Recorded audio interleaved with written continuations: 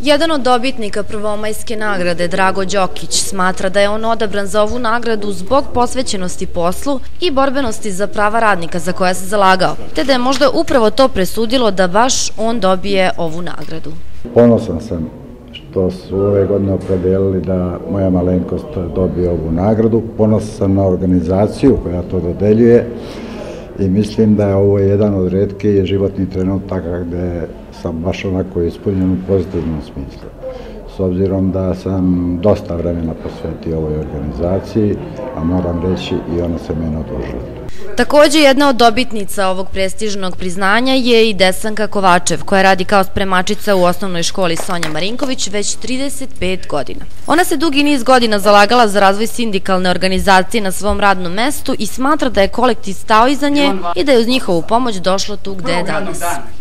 Ja sam dugo u toj školi, u mojoj školi postoje ovaj sindikat, pre pa je to nešto bilo u zastoju, e ja sam to sad ponovo pokrenuo, oživela sam taj rad te stranke. Ja sam predsednik sindikata u, u mom kolektivu.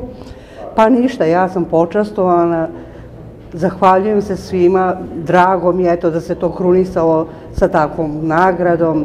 Predsednik Saveza samostalnih sindikata Vojvodine istakao je da je ovo najviše priznanje grada Novog Sada i opština. Dodao je da je sada veoma važno dodeliti priznanja onima koji su se svojim radom na neki način izdvojili. Komisija je zasedala i odabrala najbolje od najboljih, kaže Gvozdenović.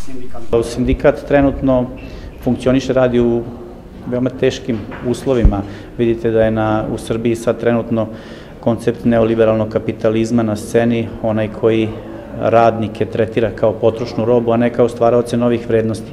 Nije tajna da nama često ljudi koji se bave sindikalnom radom, radom dobijaju otkaze ugovora o radu, što je jako strašno. Mislim da je a, ipak u takvim uslovima neko ko se a, istakne i izađe iz sredine, sredina ga prepozna i nominuje velika čast nagraditi takvog čoveka.